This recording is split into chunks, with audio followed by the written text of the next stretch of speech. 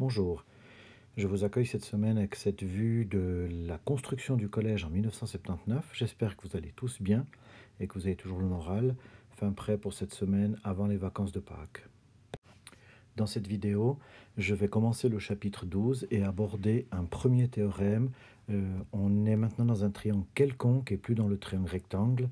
Et ce premier théorème s'appelle le théorème du cosinus. En préambule, je rappelle ce qu'on a fait dans le triangle rectangle, notamment un théorème, à savoir euh, si le triangle est rectangle en C, alors nous avons vu le théorème de Pythagore qui nous dit que la somme des carrés des cathètes, A carré plus B carré est égal à C carré. Nous avons également parlé des rapports trigonométriques des angles alpha et bêta avec sin alpha qui vaut A sur C, cos alpha qui vaut B sur C et enfin tangente alpha qui vaut A sur B. Nous allons retrouver tout ceci dans un triangle quelconque. Alors que se passe-t-il si nous avons un triangle quelconque, comme ici le triangle ABC qui n'est pas rectangle?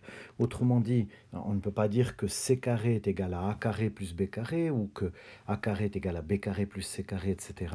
Et nous avons à ce moment-là un théorème que nous n'allons pas démontrer pour l'instant, qui est le théorème du cosinus. Il y a en fait trois théorèmes en un.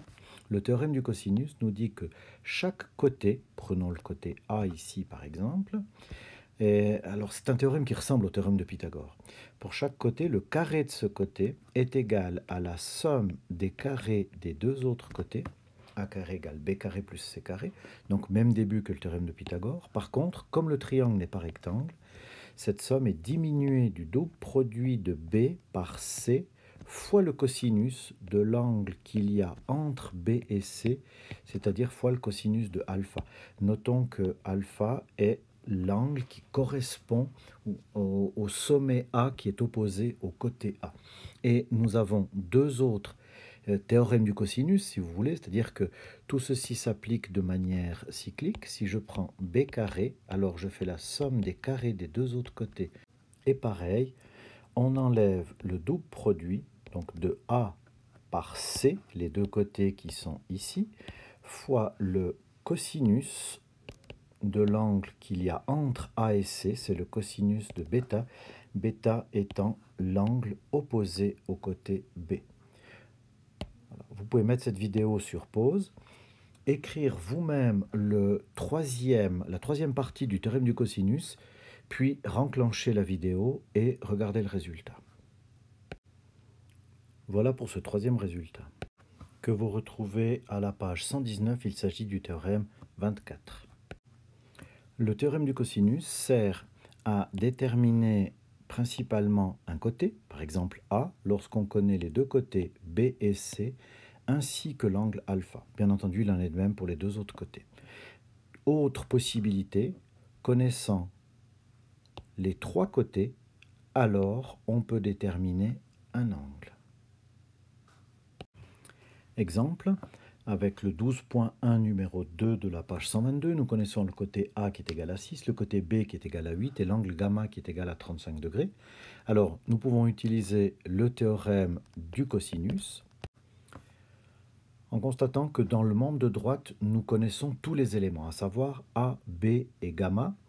Donc, il suffit de calculer et nous allons obtenir le carré de C. En l'occurrence, C carré égale 6 au carré plus 8 au carré moins 2 fois 6 fois 8 fois le cosinus de 35 degrés. En veillant à avoir votre machine en mode degré, vous allez obtenir c carré, puis en prenant la racine, vous obtenez la valeur de c. Et nous obtenons 4,622.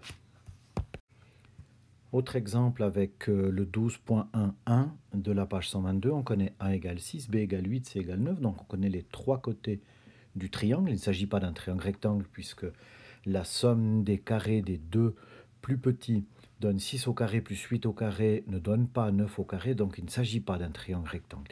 Et par contre, on aimerait pouvoir calculer alpha. Donc euh, là aussi, reprenons le théorème du cosinus. Alors ce que nous constatons ici, c'est que nous connaissons A, B, C, et B et C ici aussi.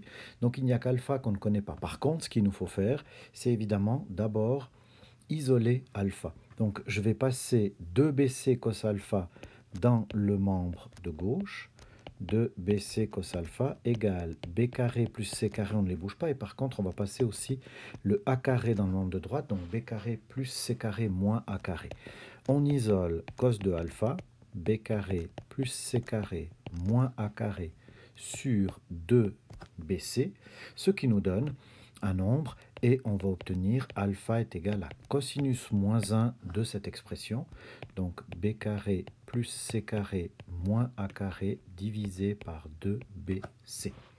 Donc d'abord on calcule b carré plus c carré moins a carré sur 2bc, puis on prend cosinus moins 1 et en degrés on obtient l'angle en question.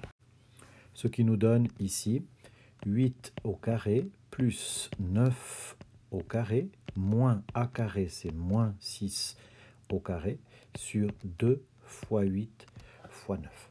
Et on se rappelle que entre 0 et 180 degrés, ce que nous avons vu dans le chapitre sur le cercle trigonométrique, il y a exactement un angle qui correspond. C'est un angle aigu si le cosinus est positif, c'est un angle obtus si le cosinus est négatif. Et nous obtenons ici, à l'aide de, cos-1 de ANS, si vous avez cette fonctionnalité sur votre machine, nous obtenons alpha qui vaut 40,804 degrés.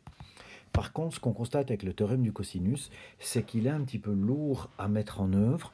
Euh, l'avantage, c'est qu'il ne donne qu'un angle alpha, mais la difficulté est qu'il fait des calculs relativement longs. Donc nous, verrons par la suite, demain, euh, le théorème du sinus qui nous permet également de calculer des angles et donc de résoudre un triangle quelconque. Voilà, je vous laisse passer aux deux exercices. Merci pour votre attention. Je vous souhaite une toute belle journée.